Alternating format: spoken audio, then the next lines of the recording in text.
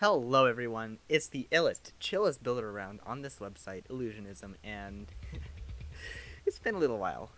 I guess I've been too busy on Fur Affinity, it's whatever. Anyways, point is, I'm back, and better than ever, with a new build I like to call Spacebuilder's Keep. Okay, that might be a bit edgy. Maybe Castle Doom 3, that probably works, but Castle Doom is kind of a Space Builders thing, I don't know. Either way, it is a really cool build. Right now, there's not much to see since I just started, and the camera is really fast, but eventually it'll become a castle on an island of epic proportions. Once I finished it, after about 8 total hours of building, dear lord, I had about 2,700 bricks, which is a lot, even for me. At that point, Brick Builder was actually starting to chug its way along with a really unstable frame rate, but really it's the best we got right now, and I cannot complain. Props to Ty for even trying to make this a reality. Anyways, it'll be it'll eventually get a tall island, a courtyard, a big old wall, a bunch of towers, some houses in cool places, a narrow street, a massive arch bridge, and a really cool tower on some rocks next to an island. You're gonna love how this one's gonna turn out when it's finished, trust me. Now just sit back and watch the whole thing happen. It's a long, relaxing journey. And uh, currently playing is Prospect by Deepbass.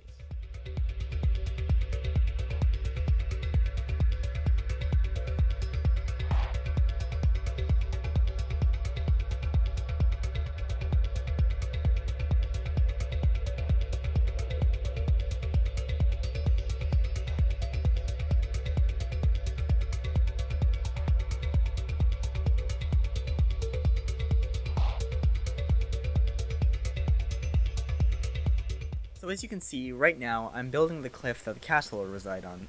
If you've already seen the end product, it looks pretty natural, and the way I do it is by making one large tall brick and copy-pasting it in the general uh, shape of the island that I want. Uh, to give it a natural feel in the end, I vary the vertical location and rotation of each brick. If you're doing this, you don't want to have any bricks that are within 3 to 5 studs vertically of the bricks next to them, and you should vary the angle every few bricks. It's really a simple process, and I use it for most of my landscaping these days. If any of you can remember back to June, I made a mountain with this technique, uh, minus the rotations. It's really robust, and now that I've told my secrets, I'm going to have to switch to something else rather soon. But I've got another ace up my sleeve for when my style gets overused.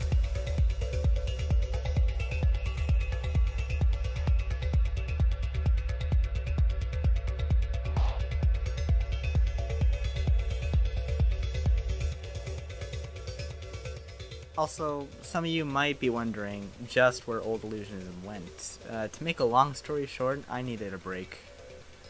Okay, I'll tell the long story. At this point, it's not much of a secret, so I'll just say it. I helped build the unfinished Egg Hunt 2020. Yes, there was going to be an there was going to be an Egg Hunt this year, and Spacebuilder's originally plan was to release it on the new client, which is slow, but it's coming. Thanks, Eska.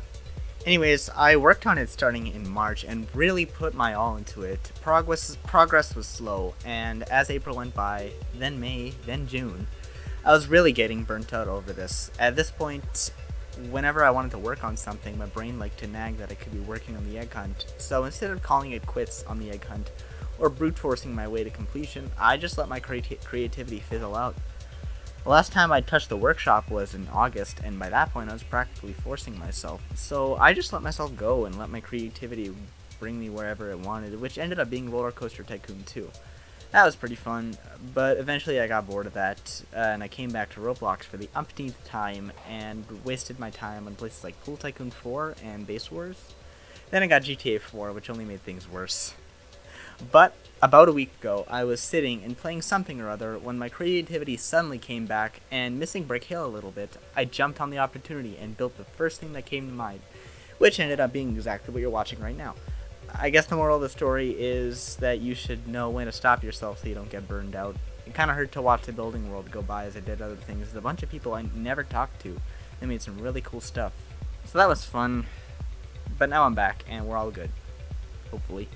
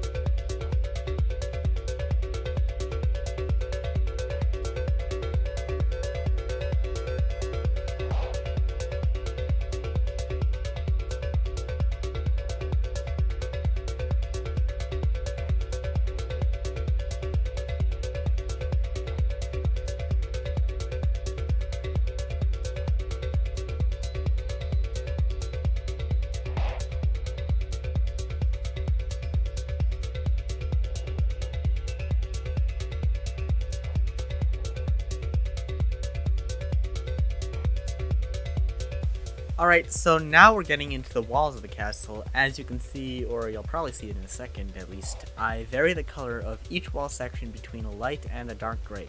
This keeps my flat and boring walls from looking too flat and boring, as the color variation spices it up a little bit.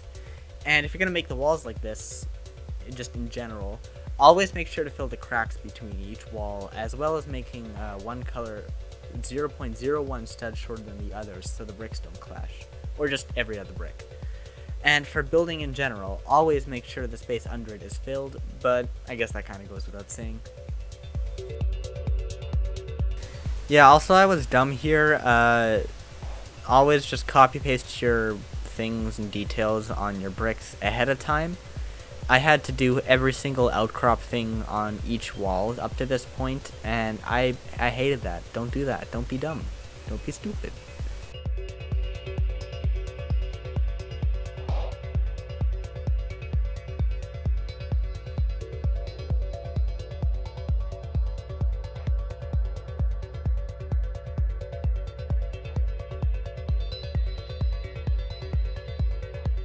Also, hot building tip, uh, to make things go faster, always find a way to copy paste everything you do. Doing everything by hand can result in a cluttered, messy map, too. For example, if I handmade every tree here and made them look different, uh, some of them would look way too weird and I'd have to remove them. As long as you rotate the objects you need to copy every time, unless that doesn't make sense, uh, you'll get a non-uniform looking build that has good models and took way less time to make. It's always better to spend time on one model than no time on 30. You can also just use like two models, uh, three models. Uh, that just makes it even better.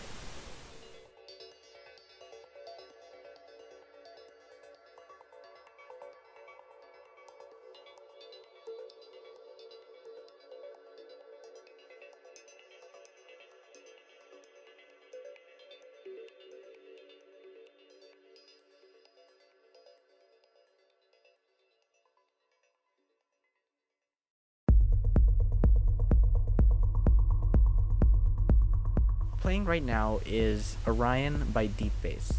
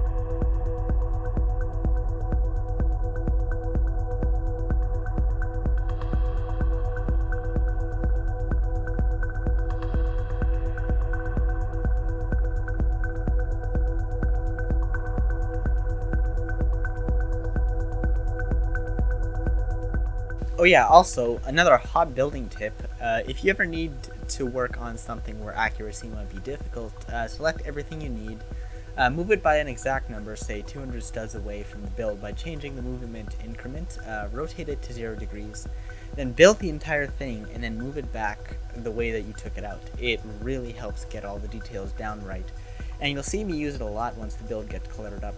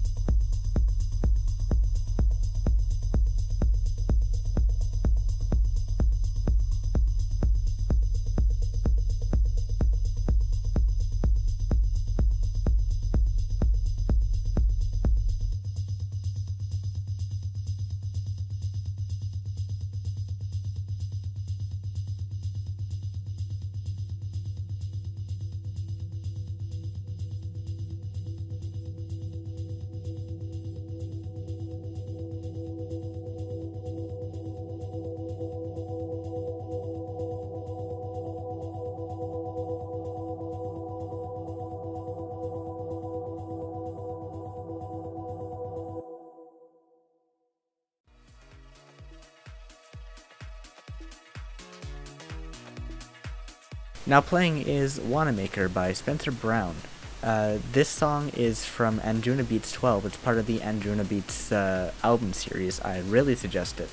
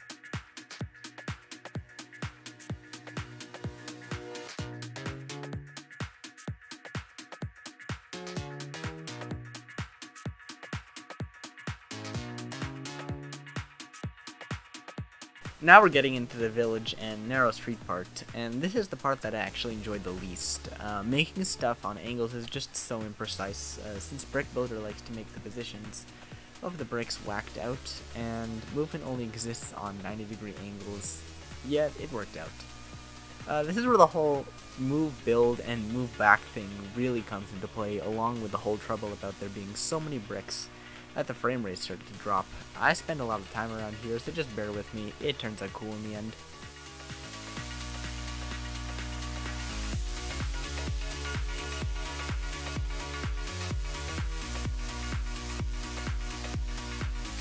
Also, can I just talk about how much I hate Spotify ads? Like, okay, I get it. You need to pay for the music and stuff, and you need to pay the artists. And Spotify does pay their artists better than things like YouTube, which is nice, but the freaking advertisements, man, oh lord. Uh, it's just the voice. Whoever does the voice acting for this, just no offense to them, but they have the most annoying voice I will ever deal with. Like, it comes on every single time, and I just have to put take my headphones off and just wait for the ad to go over. Like, that's my ad block.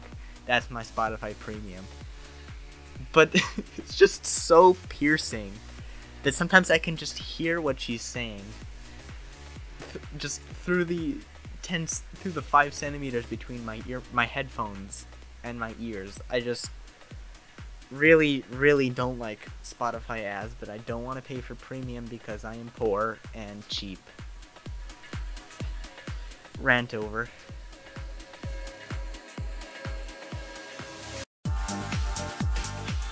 Also now playing is Contrasts by Vintage and Morelli. This is also part of Anjunabeats Volume 12.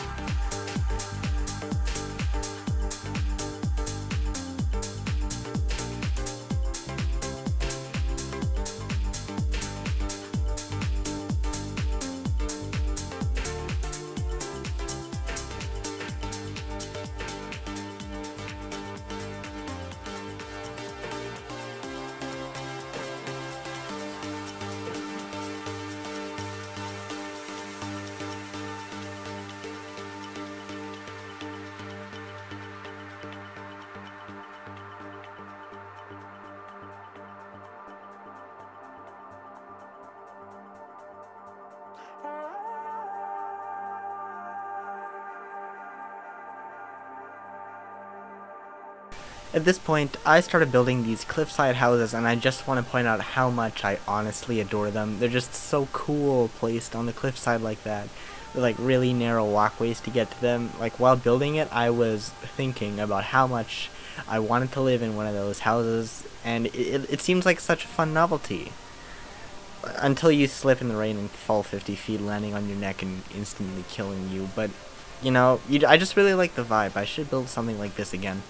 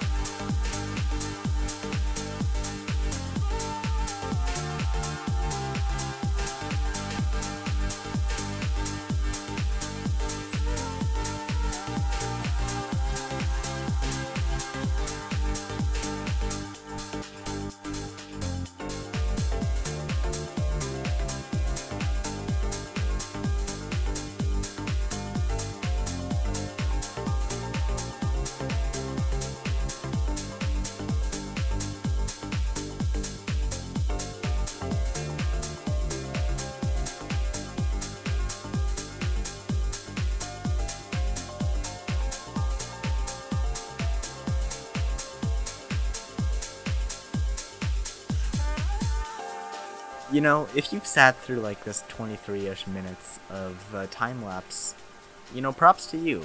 You, yeah, you actually care. That's nice.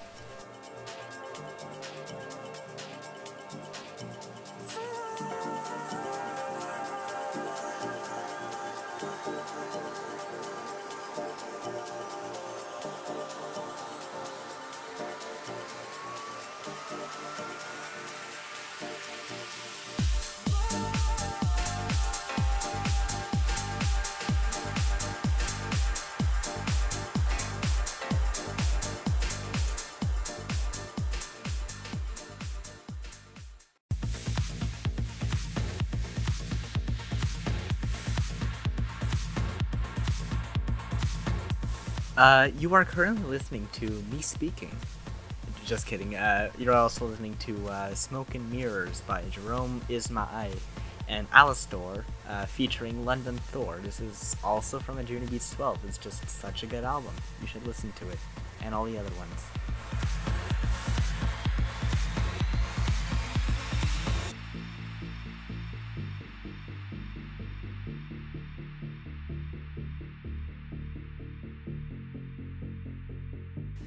You know, after 10 15 minutes of recording, I noticed just how nasally my voice is, and I really don't like it. Just. I get everyone kind of doesn't like recordings of their voice, but. It's just how nasally I am, and I can't. I can't stop that. I don't know how. You're just a smoke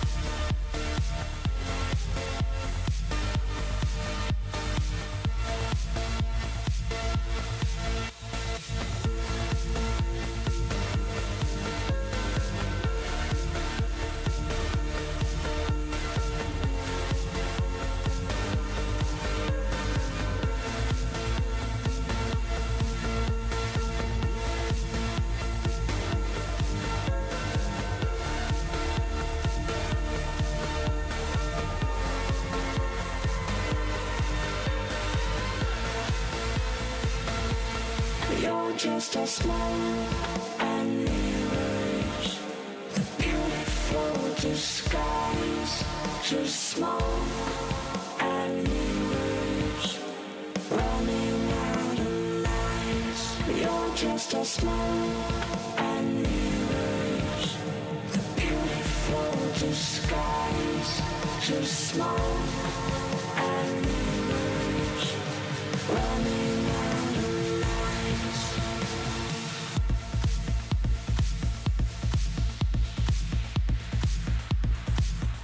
Okay, so now I'm starting to build the uh, arch bridge, and I just I really like the arch bridge. It looks really nice in the end, uh, just because of how I curved it. It fits it fits really well, and uh, the design is really simple but really effective. I remember seeing that uh, sort of look on a, an arch bridge in uh, British Columbia. I don't remember where I remember it from, but I remember it existed, and I remember thinking it was pretty cool. So yeah, I just I, I like the arch bridge. Personally, I think uh, if it was historically accurate, just like to the time period, uh, that arch bridge wouldn't exist. Just because it's modern architecture. So you know, enjoy the unrealistic but nice looking stuff.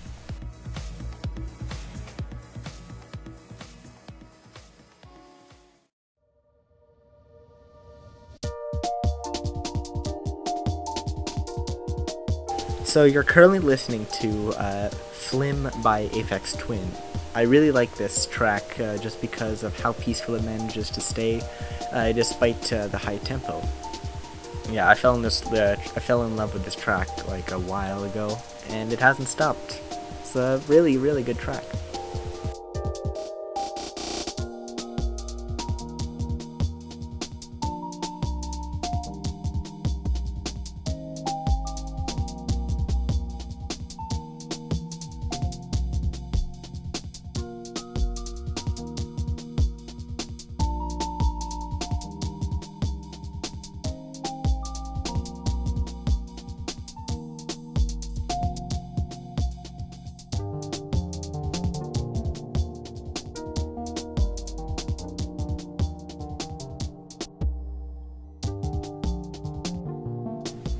As you can see, this was like my most glaring use of the move build, move back technique. Uh, and uh, after building it, uh, you're gonna see me move in just a second.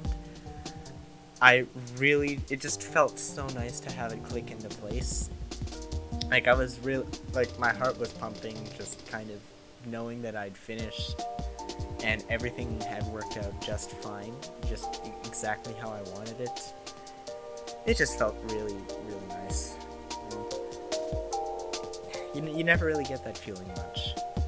You just, whenever you do, you just roll in it and embrace it. God, I need sleep.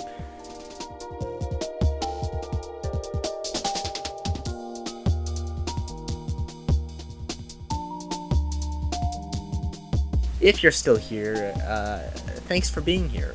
It's nice when someone cares enough to sit through 30 minutes of ugly time-lapse footage sped up in Windows Movie Maker with a bunch of YouTube rips of random songs. Uh, so here's a bunch of still shots of the finished build. It really does look spectacular to me. It's just one of the best builds I've made. I love the look of it. Is the way I use rotation, and especially that big tower in the sea. It's gonna be my favorite part. Also, I know I may seem like some big scary builder that no one can talk to, but I'm, I'm really just a guy. If you have any questions, any at all, feel free to drop into my Discord server and throw one my way or message me on the website. Uh, you could also just comment on this video. I really just love helping out fledgling builders. They're just my children, but you know, I, I don't want to be patronizing. Anyways, if you're still here, thank you for sticking around this long, and thank you so much for watching. I will see you around with my next upload in 4 to 6 months, because my brain will inevitably think that I can't top this level of quality, even if I am setting a pretty low bar. Anyways, peace.